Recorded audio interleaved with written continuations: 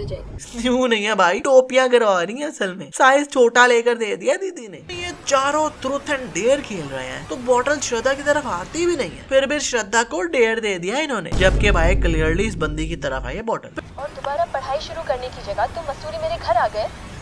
अबे कौन सा पूरे महीने के लिए यहीं आ गया हूँ? वापस जाकर पढ़ाई तो करनी है ना? सिर्फ़ पाँच मिनट ही तो मांगे थे बात करने के लिए। भाई को टीवी रिपोर्ट बनने का कहा था पर ये भाई तो लगता है वे लोग ही बन गए। अरे इन भाई का किसी को यूट्यूब चैनल पता है तो मेरे को ज़रूर बताना। और इस सीन में जो मिस्टेक है भाई उसे देख तो तुम लोगों की भाई हँसी नहीं रुकनी। क्या उसका मैं बताऊँगा वीडियो के एंड पर। तब तक बाकी वीडियो एंजॉय करो।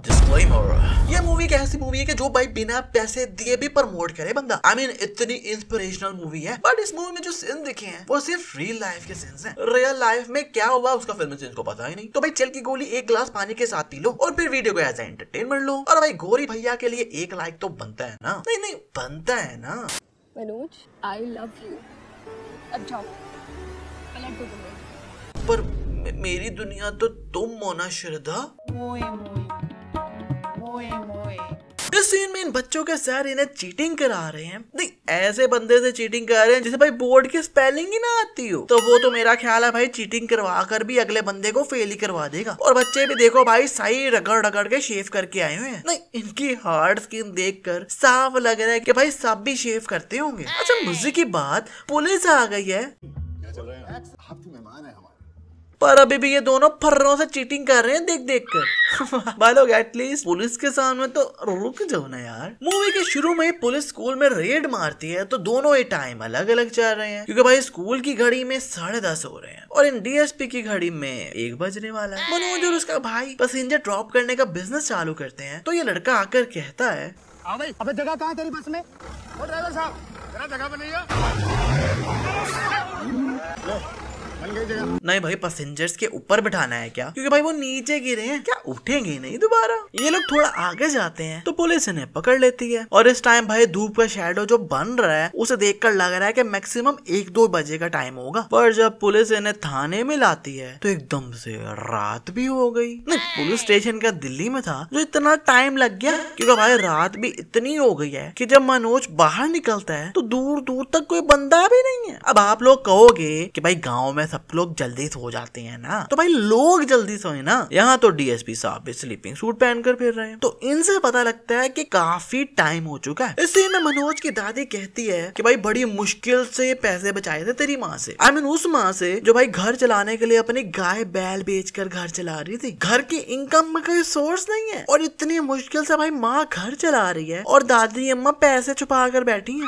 हाँ उनके पैसे हैं, पर भाई घर के ये हालात हैं। और कह रही है, बड़ी मुश्किल से तेरी माँ से ये पैसे बचाए हैं। और मज़े की बात कि भाई मनोज को पता भी था कि दादी ने सारी ज़िंदगी लगाकर पैसे जोड़कर उसे दिए हैं तो उसने भी सब के सब इस बैग में ही रख लिए। नहीं थोड़ा पॉकेट में ही रख लेता भाई। आई I मीन mean, जितने आ सकते थे उतने रख लेता। क्योंकि भाई टिकट के पैसे और खाने के पैसे क्या मनोज बार बार बैग खोल खोल के निकाल कर देता क्या? एक्सप्लेन प्लीज़ मनोज ग्वालियर जा रहा होता है तो अपना बैग नीचे रखता है। और भाई ग्वालियर जब पहुँच जाता है तो इसका वही बैग गायब हो जाता है। तो ये कंडक्टर कहता है अरे वो जो भाभी जी तेरे साथ बैठी दूध लेके उतर गई।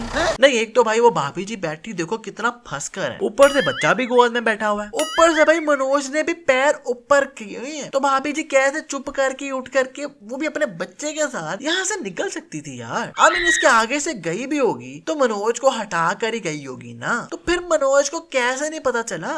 आई मीन हाउ डूड मतलब दादी का पैसा बर्बाद पहन अब आप कहोगे भाई कि अब इसमें उसकी क्या गलती है? गलती है। क्योंकि भाई मनोज ने ऐसे नीचे रख दिया था पूरा का पूरा बैग जो कि पूरा पैसे से भरा हुआ है। आई I मीन mean, मेरा बैग में भाई कुछ ना भी होता ना तो मैं उसे गोदी में रख के शोल्डर से बाँध कर ही बैठता हूँ बस में। पर मनोज भैया तो एकदम रिलैक्स होकर बैठ रहे थे। हर कोने ये लोग की तरह आ जाते हैं Delhi IPS बनूँगा I mean no disrespect you just wasting the country's resources man भाई, मेरे को इस झिंगुर का बताओ कि ये कुछ बना है या नहीं? क्योंकि इस कंट्री के रिसोर्सेज कहाँ से आ गए जब एक बंदा अपनी जॉब करके दिन रात एक करके पढ़ाई कर रहा है? और अगर वो फेल हो रहा है तो कंट्री के रिसोर्सेज वेस्ट कर रहा है। वाह भाई, और वैसे भी भाई कंट्री रिसोर्सेज होते किस लिए हैं? हमारे लिए तो होते हैं ना? या सिर्फ़ इस जैसे झिंगुर के लिए होते हैं? इस सीन में पता चलता है की मनोज ने ये शर्ट एक डेढ़ साल से पहनी हुई है। भाई, ये किस ब्रांड की शर्ट है जो मनोज ने लगातार हर दिन, हर साल पहनी है? और अभी तक एकदम एकदम चकाचक फ्रेश ही दिख रही है। और एक थ्रेड भी नहीं निकला नज़र आ रहा भाई। अब यहाँ तो एक बार शेड को वॉश करो तो कलर ही चेंज हो जाता है। मनोज को लगता है चेक्स वाली प्रिंट्स ज़्यादा ही अच्छे लगते हैं। क्योंकि न्यू शर्ट ली इसने तो सभी चेक्स वाली ले ली। जो जब जब पहनी तो भाई ऐसे लगा जैसा पहले वाली शर्ट पहनी हुई है। हाँ बस तो फुल स्लीव हो गई है। मनोज के हाथ में एरोनॉटिकल इंजीनियरिंग की बुक देखकर श्रद्धा ने उसे इंजीनियर ही समझ लिया। जबकि भाई उसने एक बार भी नहीं बोला कि मैं इंजीनियर हूँ। ऐसे तो भाई मेरे हाथ में कोई जोनी भैया की सीढ़ी देख ले तो अगला बंदा क्या मुझे आ, ठीक लड़के। बेची जी अभी अभी करता हूँ। बैठ के गप्पे मारने की तनख्वाह नहीं देता मैं तुझे। जबकि भाई श्रद्धा को पता चल गया था कि मनोज यहाँ काम करता है, और ये अंकल इसे रद्दी बेचने का कह रहे हैं। तो अब किसी ने क्या इंजीनियरिंग रद्दी बेचने के लिए की होगी क्या? जो श्रद्धा इसे इंजीनियर ही समझती रही। इस दिन में ये चारों ट्रुथ एंड डेयर खेल रहे हैं। तो बॉटल श्रद्धा की तरफ़ आती भी नहीं है। फिर भी श्रद्धा को डेयर दे दिया इन्होंने। जबकि भाई क्लियरली इस बंदी की तरफ़ आई बॉटल फिर श्रद्धा को भाई गाना, जो गाने को कहा, कि ये तो शुरू ही होगी गाना गाने। नहीं कुछ और प्लीज़ नहीं नहीं यू हैव टू सिंग ये पतंगे अंबर से कहती है क्या सुन? लो ये हवाई कहती क्या बादल से बहन बस भी कर दे अब। ऐसे में मनोज चक्की का काम चालू कर देता है तो उसका दोस्त आकर कहता है यहाँ पढ़ेगा कैसे मनोज? तो मनोज कहता है ऐसे। नहीं भाई अभी वैसे भी दिन का टाइम है तो बाहर अच्छे से पढ़ सकते हो ना। कि इस थोड़ी सी लाइट में अपनी आई साइड खराब करनी है। और दोबारा पढ़ाई शुरू करने की जगह तुम मसूरी मेरे घर आ गए।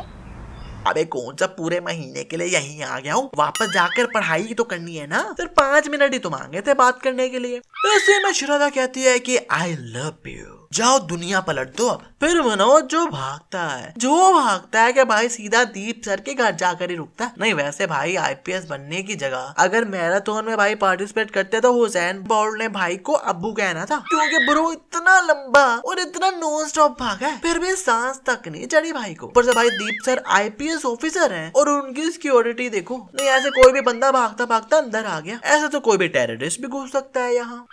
जूते थोड़े टाइट हैं। चुप रहे नहीं है ना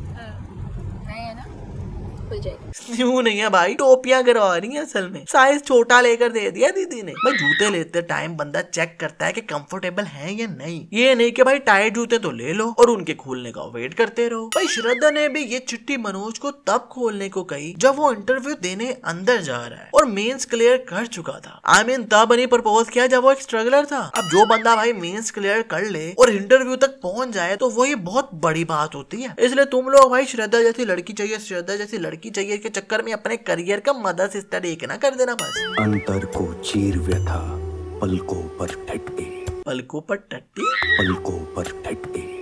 न- नहीं मतलब मेरे को भी यही समझ आई है तुम लोगों को भी वही सुनाई दिया। कमेंट में ज़रूर बताना। सब लोग भाग कर जा रहे हैं कि अपना रिज़ल्ट देखेंगे। याहू पर this girl is not looking like she is interested movie के एंड पर जब मनोज की शादी हो रही होती है तो इस भाई के कैमरे के सिर्फ़ एक परसेंट चार्जिंग बची है। अबे वन परसेंट भी गई।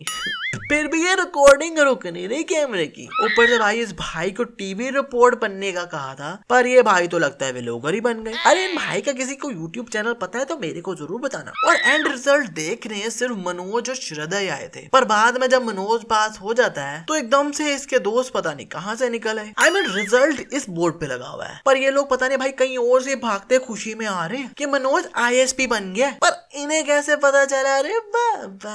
पहले जिस मिस्टेक का मैंने आपको कहा था कि मैं आपको वीडियो के अंत पर बताऊँगा वो एक्चुअली में मिस्टेक नहीं है सो मैं उसे काउंट नहीं करूँगा क्योंकि भाई की मुझे वैसे इंटरनेट में पिक्चर मिली तो मैंने सोचा कि आप लोगों के साथ शेयर कर लूँ। पर आई डोंट नो ये रियल है या नहीं। या रियल है भी तो मूवी का पार्ट तो नहीं थी ये। हो सकता है उन्होंने अपना आईफोन अपने पॉकेट में डाला हो और बाद में निकाल दिया हो। आई डोंट नो मैन खैर आजकल बस इतना ही। वीडियो अच्छी लगे तो वीडियो को लाइक करो कमेंट करो शेयर करो और फ़िल्म को सब्सक्राइब करके बेल आइकन दबाना तो भाई बिल्कुल ना भूलना, क्योंकि उसे ना दोबारा तो लाइफ विल नॉट बी झिंगा लाला